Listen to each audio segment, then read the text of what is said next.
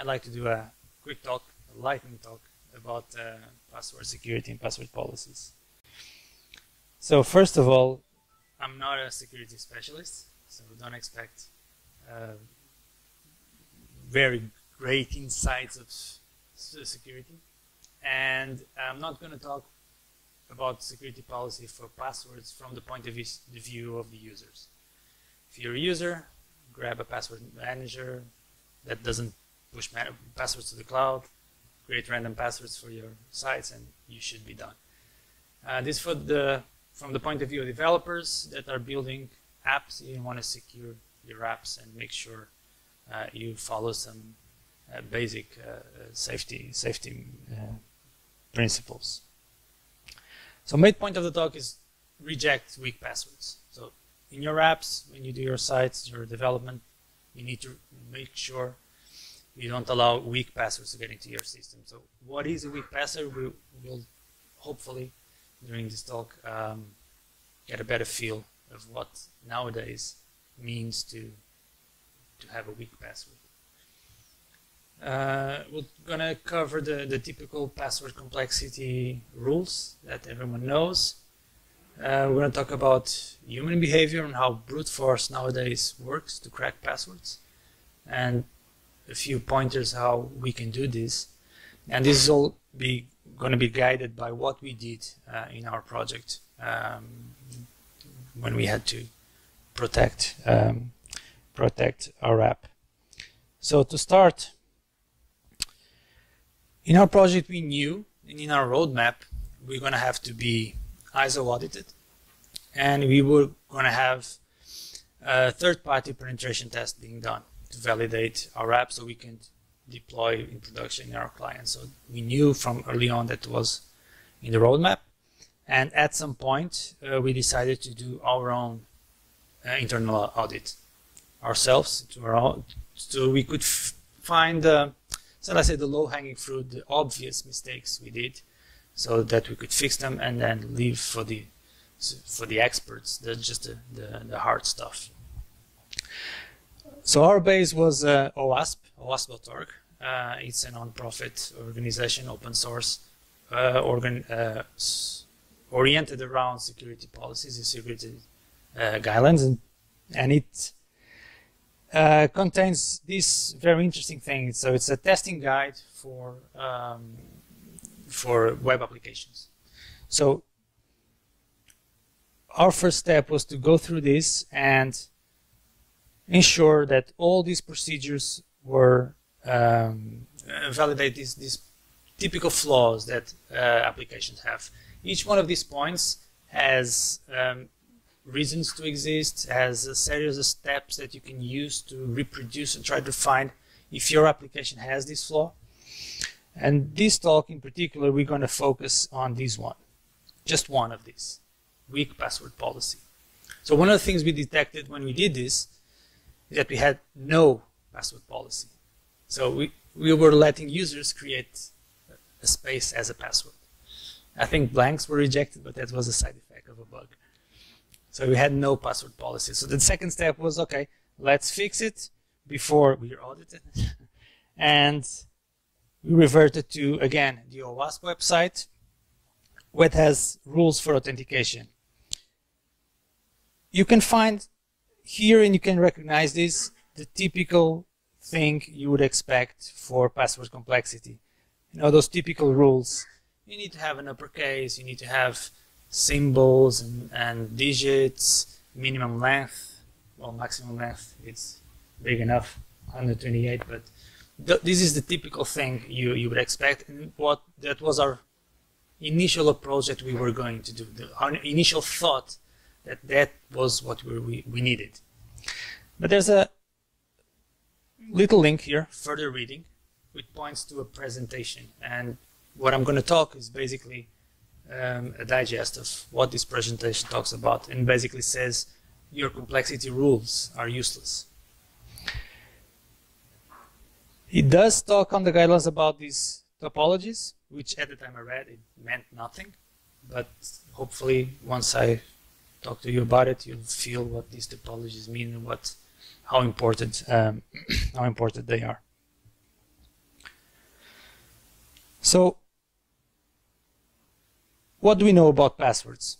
There's a site, this one, uh, Have I Been Pwned, where you can type your password and see if your password has been leaked already. Because over the years, many, many sites have been uh, hacked and their passwords stolen, their hashes. Problem was most of them weren't even hashed properly. So, so they were in plain text, MD5 or SHA-1 now is not even enough. Um, and it's, it's, this gives us a, a corpus of actual human behavior of what type of passwords people do create. So interesting is if you see how many were just protected with MD5, each yellow line there is one side that was just storing their passwords with MD5. Plain text. Again, huge amount of number. So these are just free passwords for you to see. Um, so what does this body of knowledge um, teaches us? It teaches a lot about human behavior and how people create passwords when they're, they are faced with constraints. So one thing you can see, uh, for instance, those three examples, those three passwords, at, on the face of it, they seem very different. In reality, they have the same pattern. They're, they are the same thing for someone doing a brute force attack. It's an uppercase, a digit, six lower cases, two digits, and a symbol.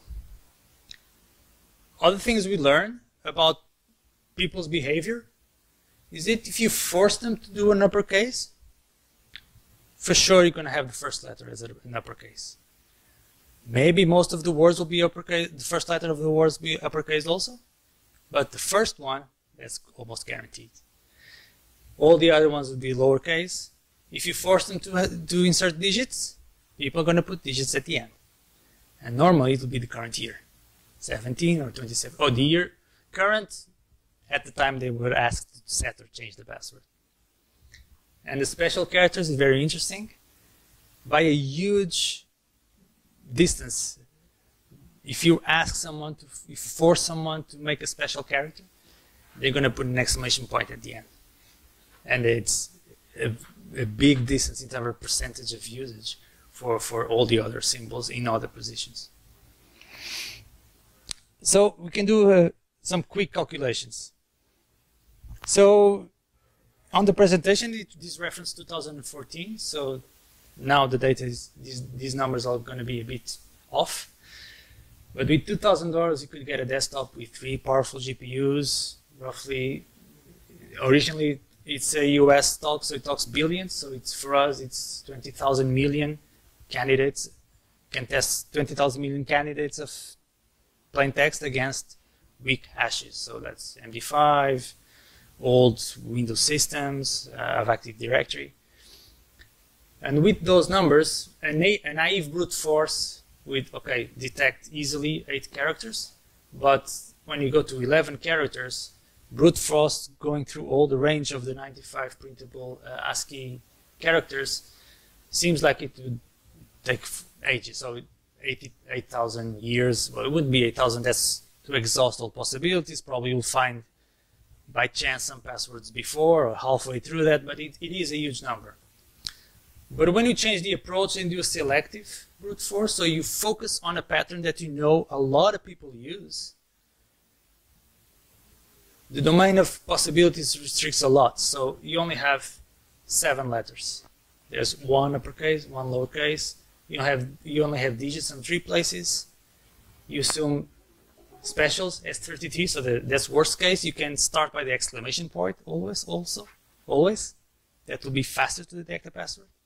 And this little desktop, with 11 characters focusing on this pattern, you can take just three or four hours to, to, to, to crack the passwords. And what would they find with this pattern? Once you look at how, you, how often the patterns are used, these could correspond to 12% of all the users they, of the hashes they grabbed. If you go through the top 10 or 100 patterns mostly used, you can easily get 40 to 60% of all the passwords of the users of those hashes that you've that you've grabbed. So what did we do and what can we do with this? So one thing to, to take notice is also what is the risk profile of your project. So one thing is a project that is public facing, which expects thousands of signups per day. Another one is a product that goes through a corporate sales cycle with demos and dinners with the CEO that once it gets a sale, you'll have half a dozen people in the companies to sign up as users and they are technical people. So this is completely two different risk profiles. For our risk profile, we thought blacklisting most of the common words and passwords would be enough. I'm going to show two or three ways where you could take this, uh, this thing further. So one thing we did, we used this uh, interesting library. It's a weird name, but it's just the bottom six keys of the bottom row of the QWERTY keyboard. Um, it's made by Dropbox. It's a password meter.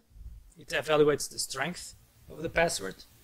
The interesting, the interesting thing it has is that it contains already uh, 30,000 of the common passwords, common names, surnames, um, television, series, uh, ignores all the leet speak without changing an A with an ampersand or a E by a 3 is useless, doesn't do anything, it's just one more letter to be considered. Exists for all the, you know, all the usual suspects. Uh, there's ports for many languages. And what we did with our evaluation, you can try it online, we figured it was, like I said, good enough for our, uh, for our use case.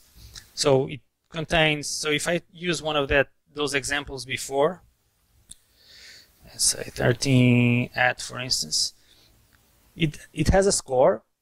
If you want to 4, we, uh, we are ignoring the score, we don't care. The interesting part for us was this section, warnings and suggestions. This is given by the library.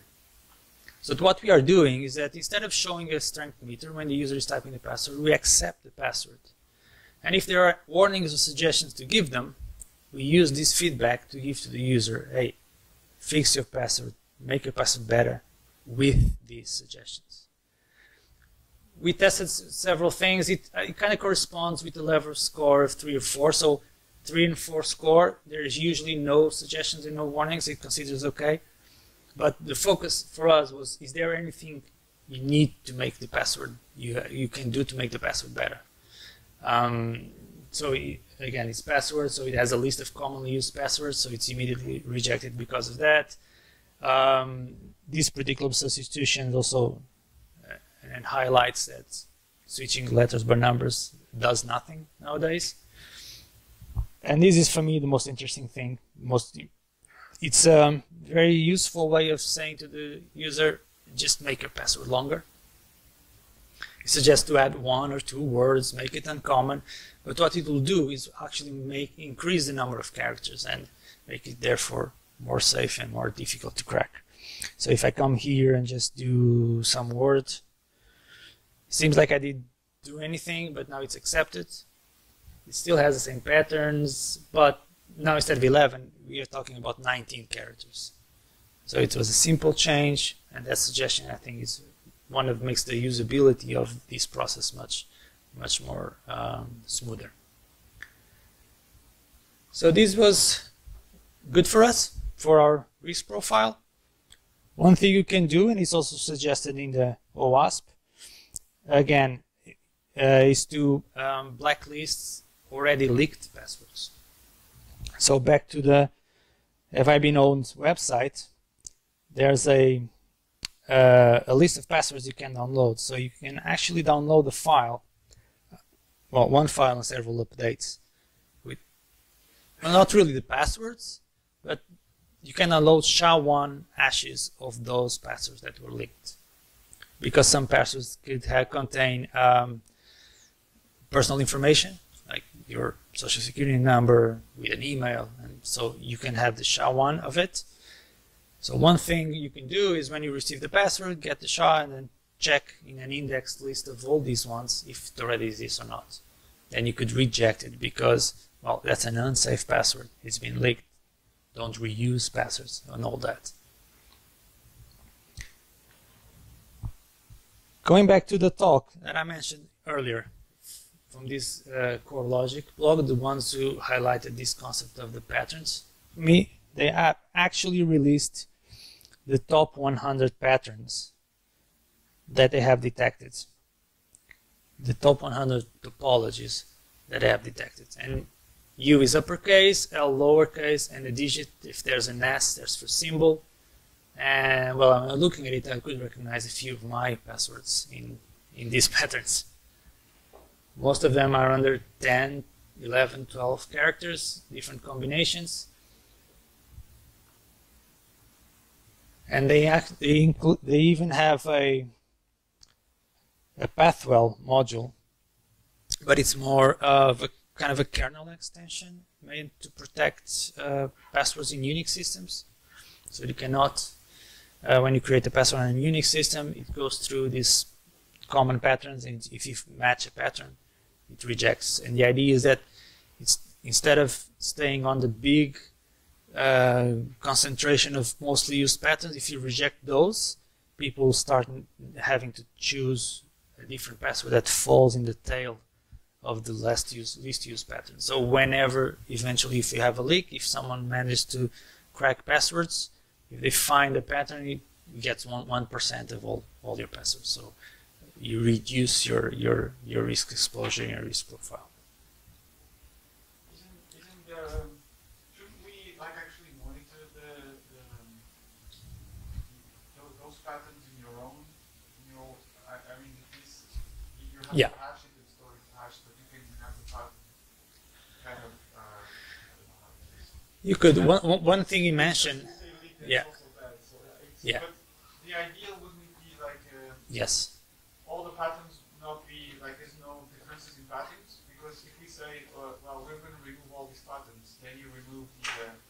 search space so they will they will not search for this because you said oh this is bad we know these these patterns are not so we're just not going to try the brute force just becomes space just becomes smaller because it bans so, so many Yeah. Ideally, you could have a distribution. Say these ones instead of banning, say this has been used too ma- too much. You need to choose a different ones to get a, a complete well, distribution. I know that now Yeah. because people are now searching Yeah. for these patterns and so they will only be able to like crack like one percent or two percent maybe or even less. So Well, the common the thing is the common ones, the top 100, they give you 80% of the of most of the of Yeah, the passes if if you grab from a from a website. okay. yeah. One th- one thing they mention on the presentation is that um, you can uh, you also find different patterns in different companies. So companies do have their their most used patterns, which depends on the rules they they they enforce. So the rules enforce human behavior, which then creates patterns. So that Yeah. even so that's that's even more Yeah. because people will just get around like oh you put a, a roadblock here and people just go around it. Yeah. Say, oh yeah, everyone just goes around here. So you say, Yeah, you, you might have the security constraint, the, the, the, sorry, the policy complexity restrictions, but then if you add rotation every four months, then you start getting new patterns like uh, month number or summer 17. Because then people try to find uh, heuristics around the, uh, the difficulty of remembering passwords. The problem is storing those those distributions. How, how you know like how do you know which which uh, Well, patterns are if you're not if you're only storing the hashes, how do you how do you keep the Well, at some moment when you create, you receive the, the, the, the password in plain text, right? You need to receive it the first time to do something with it. right? Uh, for the first validation. And that point, you you'd fork a pattern to to add. Yeah, if you want to say, you know, for example, distinguish between the it's like every, so a lot of people have already put the, like the DCF. Yeah. Something like that. Maybe, maybe we can have this separate. Okay, yeah. Cool. But like I said, it's like increasing on your risk profile. You increase the possibility of restricting uh, passwords. Yeah.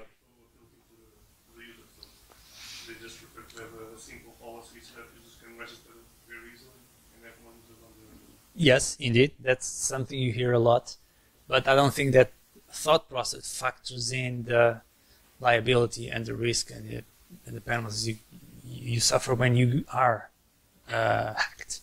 When a weak password allows a, an entry point to to access your system, to to to hack and start data, to steal data.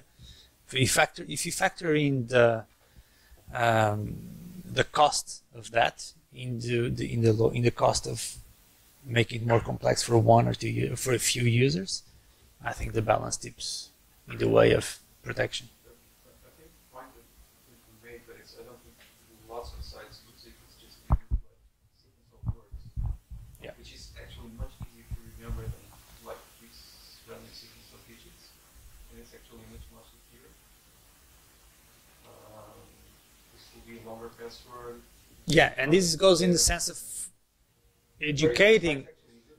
Yeah, It's surprisingly. This it's in the sense of trying to educate users of getting away of this, because it's this this is kind of what you get when your password policy revolves around those typical complexity of you need a, a lowercase, you need a higher an uppercase, you need digits, and you need symbols.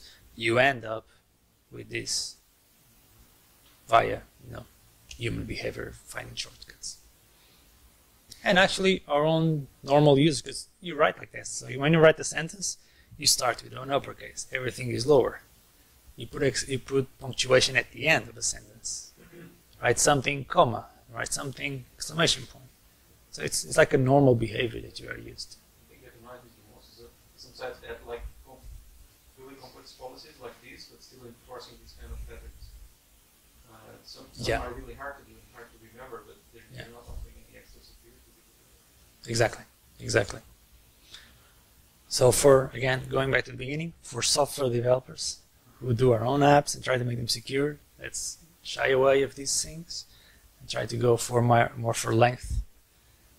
Would you advise to use the, social uh, plugins for that instead of creating our own password using the social login plugins? Social media. Using the Yeah. Yeah, it depends on the use case. If you have a, in, in some cases that's not a, a possibility. So if you have a, an app that's for a company, you need to log in with the company email, for instance. Um, user websites might, yeah, might use it, but well, that's what I was gonna. say. LinkedIn is way up there on top. Yeah.